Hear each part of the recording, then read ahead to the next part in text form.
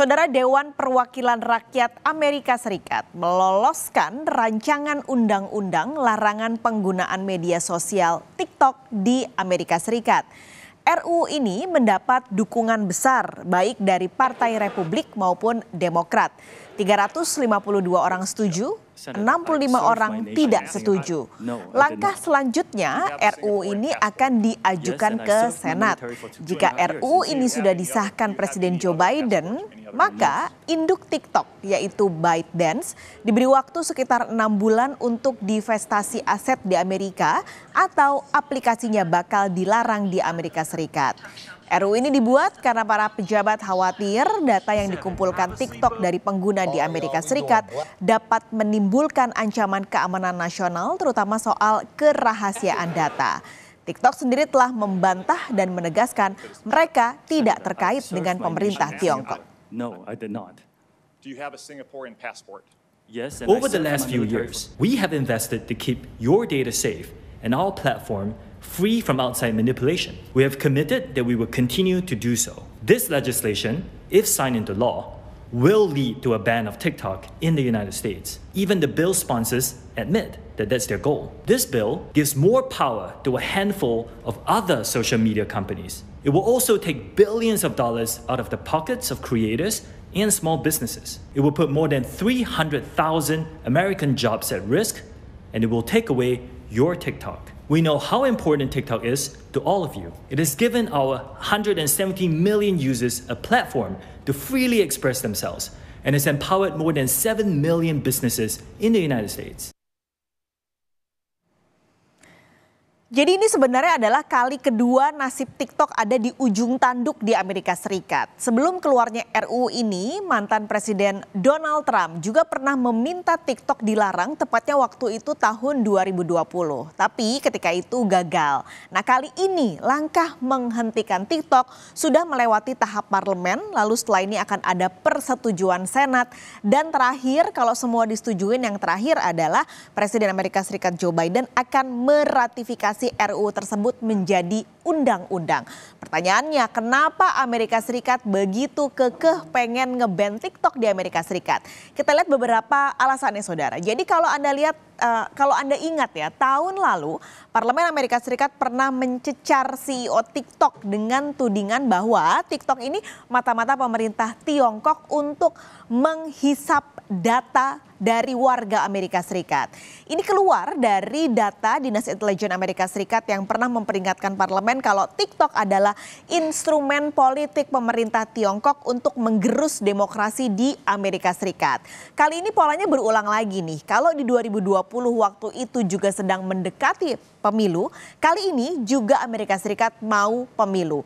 Kekhawatirannya makin besar kalau propaganda Beijing melalui TikTok ini akan membidik kandidat presiden baik itu dari Demokrat maupun Republik dan memengaruhi warga Amerika Serikat yang memiliki TikTok.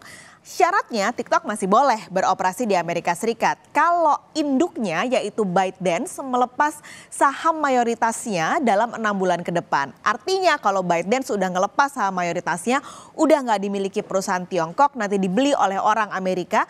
Artinya TikTok sudah tidak dimiliki oleh perusahaan Tiongkok dan sudah tidak ada hubungan lagi dengan Tiongkok. Nah, di tengah ancaman ban TikTok di Amerika Serikat ini, media sosial TikTok melaporkan kalau kenaikan mereka atau pendapatan mereka naik di Amerika Serikat. Total tahun lalu dilaporkan pendapatan TikTok di Amerika Serikat ini mencapai 16 miliar dolar.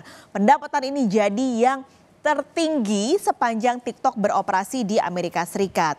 Nah, diprediksi juga saudara, kalau kening, uh, peningkatan pendapatan TikTok di 2023 ini akan meningkatkan valuasi TikTok nilai perusahaan TikTok bahkan hingga mencapai 150 miliar dolar. Jadi Anda kebayang ya kalau nanti beneran ada pengusaha Amerika Serikat yang ngambil alih TikTok lalu dilepas oleh ByteDance berapa besar cuan yang dimiliki oleh uh, pemilik baru dari TikTok. Bahkan nggak hanya TikTok yang melaporkan kenaikan pendapatan. Perusahaan induknya yaitu ByteDance melaporkan lonjakan kenaikan pendapatan bahkan hingga 40 persen secara tahunan menjadi 120 miliar dolar.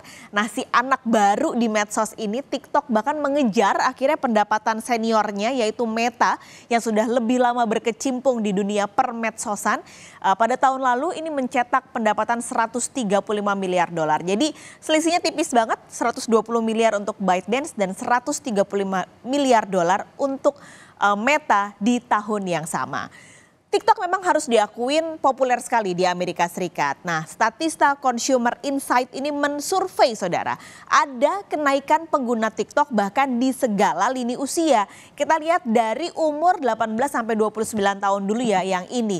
Di 2020 angkanya hanya 30 persen, naik menjadi 57 persen untuk angka 18 sampai 29 tahun. Lalu di 2000 uh, untuk 30 sampai 49 tahun usia yang lebih matang juga menjadi pengguna TikTok meskipun angkanya lebih kecil dibandingkan dengan mereka yang menggunakan di usia 18 sampai 29 tahun.